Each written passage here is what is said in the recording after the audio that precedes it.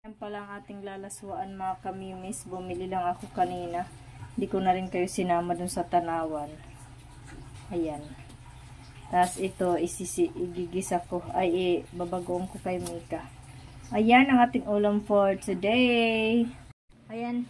Ang bilis ng ulam natin mga kamimis. Oh. Ito na aking laswa. Maaga pa. Quarter to 10 pa lang. Meron akong laswa. Meron akong baguang at saka sausawan ng kanilang ulam. Ako mga kamimis walang ulam. Gulay lang.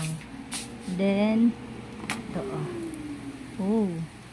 Ito ang kanilang partner sa kanilang laswa. Ako laswa lang.